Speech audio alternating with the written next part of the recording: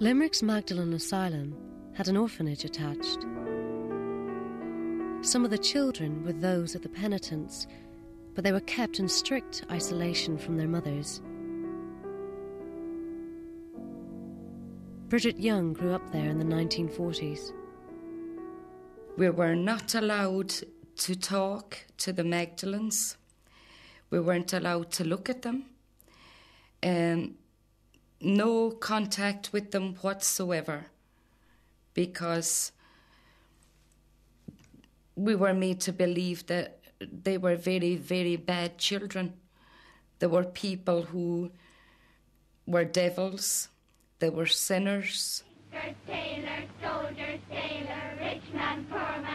Any contact between the Magdalens and the orphans was forbidden. Whenever the beds were changed down in the orphanage, we took all the heavy linen up to the Magdalens, to the laundry, but the back gate was always locked. And when they would hear the trolley coming, one of them would actually come out and take the linen in. Well, this particular day, there was two of us, and we wheeled up the linen as usual. And there was a Magdalene standing at the back gate when we got there. She said to me, Do you have a child down there by the name of Margaret Moore? And I said, Yes, we do. She said, That's my child, and I don't know what she looks like. But I haven't seen her since she was a year old. So she was trying to make arrangements with me to bring this child up on top of the flat roof over the infirmary. And she would come out at the back gate if I would bring the child to the railings. And I agreed I would. But I got caught that same day. One of the nuns was coming out of the chapel she started clapping her hands and, you know, running and just flew over to the back gate of the Magdalen laundry. Just grabbed two of us by the ears, run us right down the hill, brought us into the Reverend Mother, and uh, the Reverend Mother took it from there. She asked us to wait in the back uh, shed, and she would be in to deal with us, you know, after that. So we went into the back shed, and she came in with a great big long rubber, black rubber. It wasn't a belt, but it was something that she had specially made for the children to beat the children with and um, a scissors and an open razor. And she shaved both our heads and gave us a severe beating. And after she did that, she grabbed the two of us again and she made us look in the mirror to see what we had looked like after she had finished with us. And that's what happened. And I'll never forget what looked back at me. Totally devastating. Your forehead all swelled up, under my chin all bleeding where she had stuck the scissors wide open. The blood running into my eyes, my eyes totally closed. And she was making us open them eyes and look in that mirror. And you're not so pretty now, are you? I'll never forget that day. And this was just because talking to Magdalens.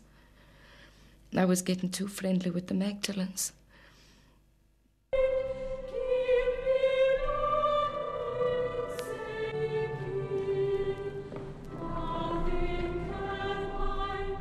Priests made regular visits to the Magdalen asylums to conduct Mass and take confession.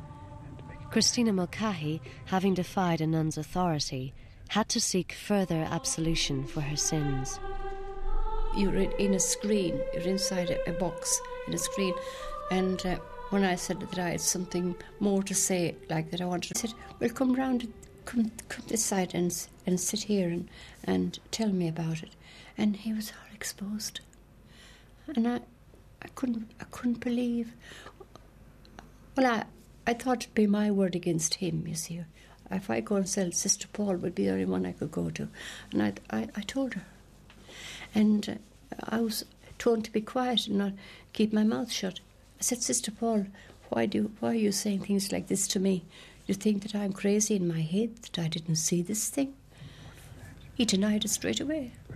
I said, You're not a man of God. You really are not. And I said I didn't want any more. And I, and I said I wouldn't go to confession or, or go to church anymore. So I sat, I sat on the stairs and on a Sunday and wouldn't go. So the next thing was they cut all my hair off.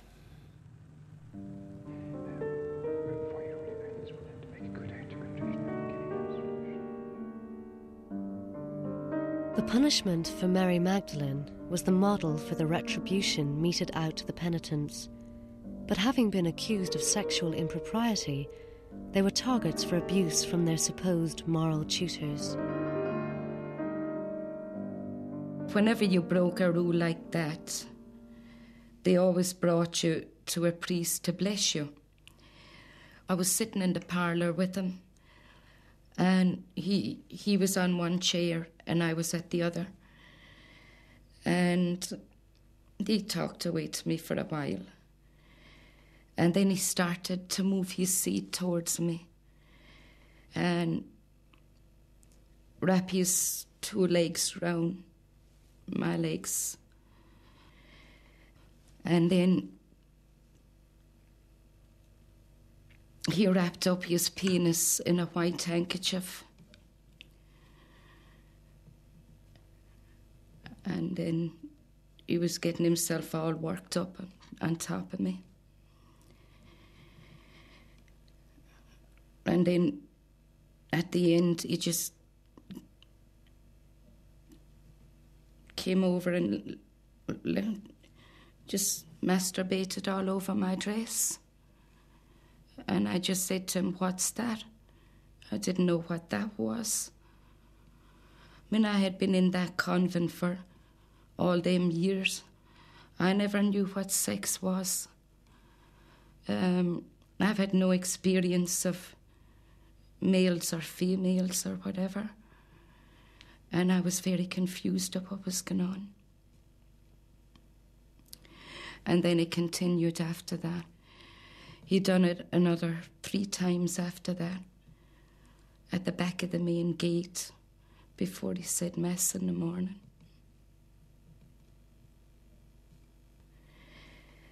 If um, I had tried to talk about that to any of the nuns, I would have been a Magdalene.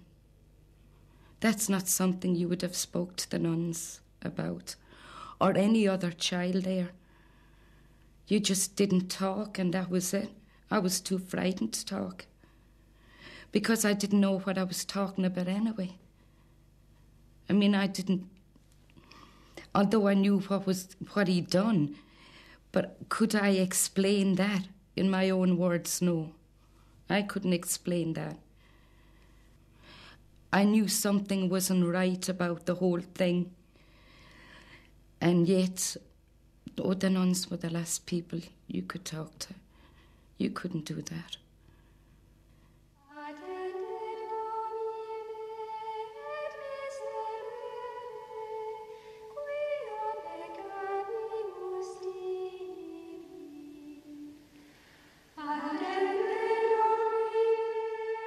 There seemed to be no escape from the Magdalen asylums and the orphanages attached to them.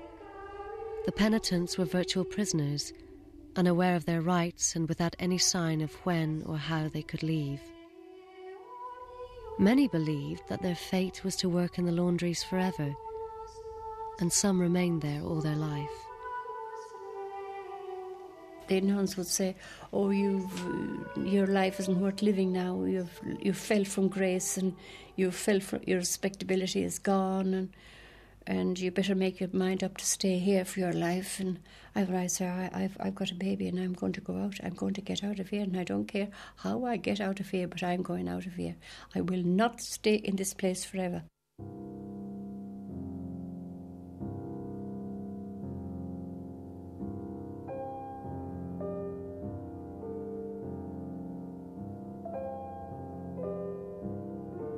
Few did escape, but the walls were that high, you'd be cut to ribbons. There was like barbed wire, there was also iron spikes sticking out of the walls.